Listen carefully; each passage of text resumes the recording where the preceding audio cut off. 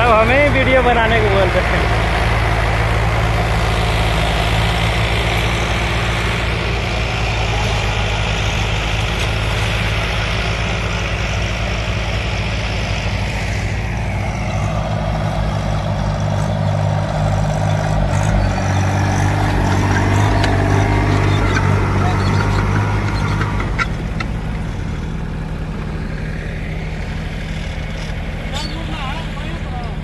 Gracias.